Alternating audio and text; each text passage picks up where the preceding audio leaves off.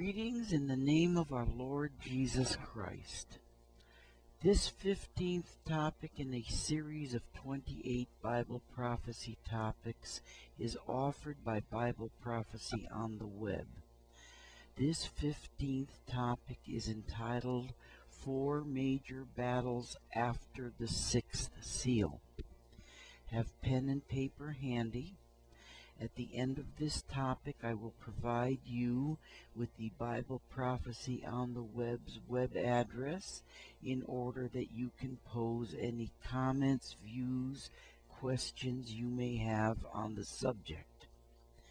As regards the four major battles after the sixth seal, the first of these four battles will occur at the sixth trumpet the sixth trumpet is the second woe.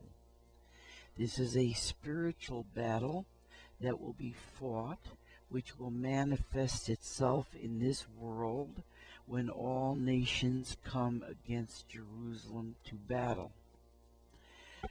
The last 391 days plus one hour prior to the slaying of the two prophets the two prophets will be slain at the last hour of battle.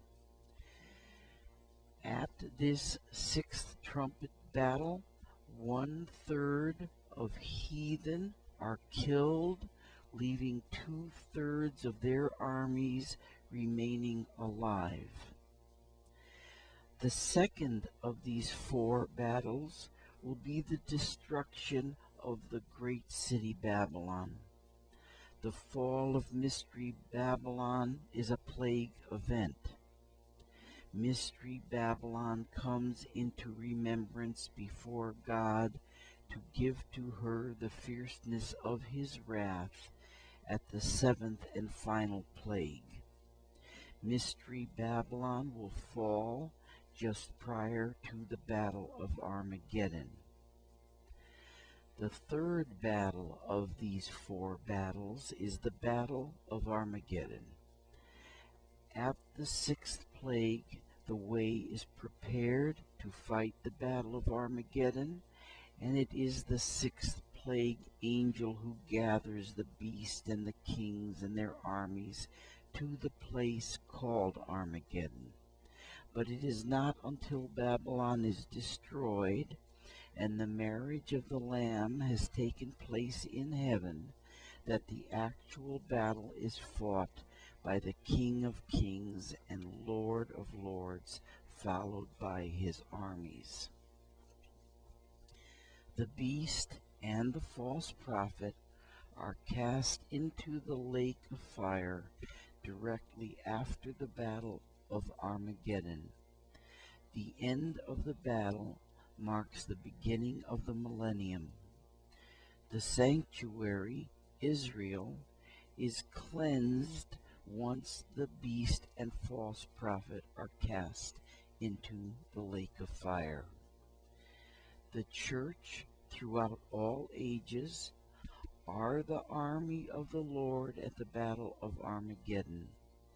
Christ's bride, his wife, will remain upon the earth with the Lord throughout the millennium.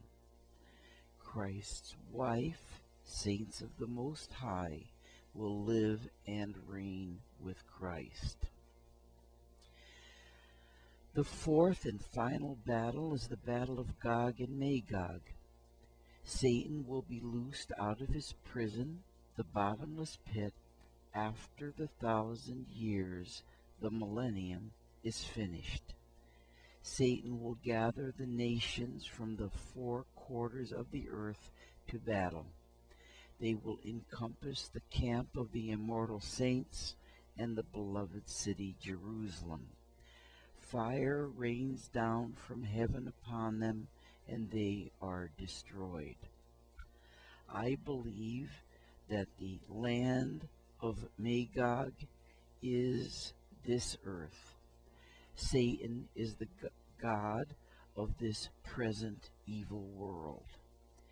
In conclusion, the first battle, the battle occurring at the sixth trumpet. The second battle, the destruction of the great city Babylon. And the third battle, the battle of Armageddon, will occur before the millennium. The fourth battle, the battle of Gog and Magog, will occur after the millennium. To conclude this Bible prophecy session, I will now give Bible prophecy on the web's web address. It is http colon backslash backslash groups that's plural groups dot yahoo dot com backslash group that's singular group backslash Bible prophecy. That is one word capital B for Bible capital P for prophecy. The moderator of Bible prophecy on the web is the author of the self-study aid the book of Revelation explained published in 1982 the next topic, the 16th topic in this Bible prophecy series, is entitled The Abomination of Desolation.